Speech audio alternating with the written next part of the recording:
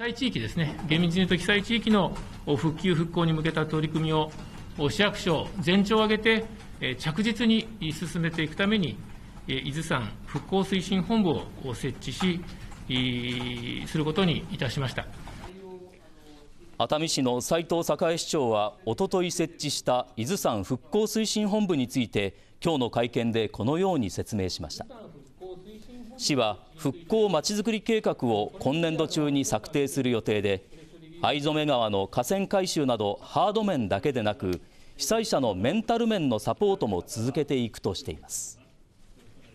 7月3日に熱海市伊豆山で発生した土石流ではこれまでに26人が死亡。いまだ太田和子さんが行方不明で捜索活動は継続します。